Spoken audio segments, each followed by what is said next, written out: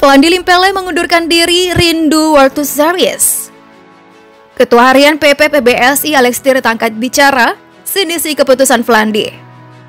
Pecinta bulu tangkis Indonesia geram dengan sikap PBSI. Hey yo, Betul Lovers! Kabar hengkangnya pelatih junior ganda campuran Indonesia Flandi Limpele menghebohkan dunia pecinta bulu tangkis dalam negeri. Harapan besar bisa menjadi bagian dari kesuksesan bulu tangkis Indonesia di masa sekarang nyatanya berujung pahit. Ada banyak hal tidak sesuai ekspektasi Flandi selama berlatih di Indonesia, termasuk menyoal peran dan kontraknya. Sedang berada di situasi tidak jelas, Flandi lebih memilih melatih timnas Hong Kong selama dua tahun menjadi kepala pelatih sektor ganda. Timnas Hong Kong memang sangat mengincar Flandi Melihat kiprahnya sebagai pelatih sudah diakui. Kesuksesan ganda putra India salah satu bagian dari racikan tangan dinginnya. Sejak menjadi pelatih kepala ganda putra India tahun 2019, Hong Kong berusaha keras merekrut Flandi. Namun gagal karena Flandi lebih memilih melatih di Malaysia, kemudian kembali menerima tawaran melatih di tanah kelahirannya, Indonesia. Alsa timnas bulu tangkis Hong Kong kali ini akhirnya berhasil Bukan sekedar iming-iming, tawaran posisi penting cukup menggiurkan dan tentu saja langsung diterima Flandi. Ganda putra, ganda putri dan ganda campuran Hong Kong bersiap menjadi kuda hitam di pentas internasional. Rasa rindu ke World Tour Series dan keinginan untuk naik kelas dan belajar lagi itulah yang membuat saya resign. Sudah lama memendam sesuatu yang janggal terkait perannya.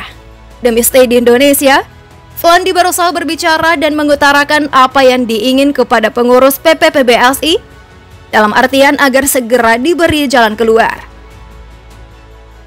Kontrak yang jelas tak kunjung tiba. Pupuslah harapan Flandi untuk bertahan di Cipayung, bimbang dan merasa pilu. Harus meninggalkan Indonesia yang sejatinya selama ini dinanti. Namun apa daya, janji hanya sekedar, hati pun tertampar. Kecintaannya kepada bulu tangkis sangat besar, sekalipun mau tidak mau melatih di negeri orang. Kontrak tidak jelas, maka surat pengunduran diri hadir sebagai bentuk kekecewaan yang dikemas masih dalam bentuk kesopanan. Dibanding minggat begitu saja, inilah jalan paling beretika. Ketua Harian PPPBLC Alex Tirta angkat bicara. Alex menghormati keputusan Flandi meninggalkan pelatnas bulu tangkis Cipayung, Jawa Timur ada beberapa hal yang perlu diluruskan perihal pernyataan soal promosi jabatan. Sesuai komitmen awal saat Coach Flandi datang bergabung ke Pelatnas Cipayung pada awal tahun 2002. Dia memang bersedia diberi tanggung jawab sebagai pelatih Pelatnas Prataba. Bahkan dari awal tidak pernah ada pembicaraan atau janji PBSI akan menarik dia sebagai kepala pelatih Pelatnas Utaba. Alex mengatakan Flandi sudah berkomitmen untuk melatih pemain-pemain muda di Pelatnas Pratama. Terkait pemilihan kepala pelatih Pelatnas Utaba, PBSI perlu mempertimbangkan banyak faktor secara matang. Bagi Alex Flandi belum setahun bertugas dan belum memiliki prestasi memukau selama menjawab sebagai pelatih Pelatnas Pratama. So, apa yang harus dibanggakan?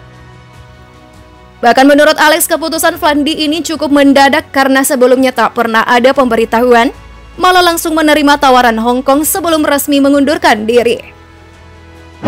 Badminton lovers geram, mengapa para pejuang bulu tangkis yang pernah mengharumkan nama Indonesia di kancah dunia, giliran melatih untuk generasi selanjutnya dalam negeri begitu sulit? Mengapa pada betah melatih di negeri orang? Ironis, Target tinggi kepada para pelatih agar pemain bisa tembus semifinal ataupun final. Super System justru tidak mendukung keberadaan pelatih.